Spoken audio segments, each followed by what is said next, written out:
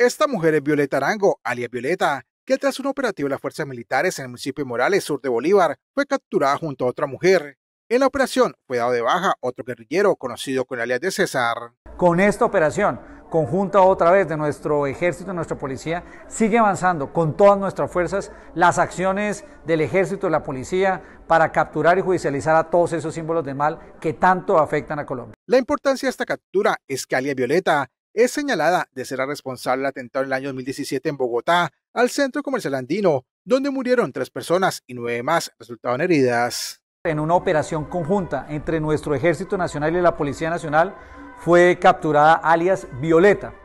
Esta terrorista que pertenece al ELN fue una de las principales responsables ejecutoras del atentado terrorista en el centro andrino en el año 2017. En ese atentado murieron tres personas y nueve quedaron heridas. Esta alias Violeta también es acusada de terrorismo y concierto para delinquir. Fuertemente escoltada, permanece en Barranca Bermeja, donde en una audiencia virtual se legalizó su captura. Ahora permanecerá el distrito, donde mañana en la tarde se le imputarán cargos y se le dictará una medida de aseguramiento.